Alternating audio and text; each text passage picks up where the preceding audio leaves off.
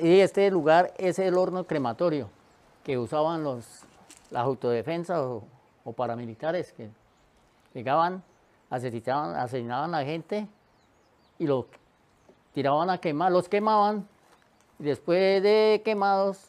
pasaban a un tanque con ácido sulfúrico al 89% para que no quedaran evidencias de nada. O yo creo que es lo más atroz que ha existido aquí en, en Colombia pues, en ese sentido y el norte de Santander, porque ellos no tenían misericordia con nadie. El que venía para acá,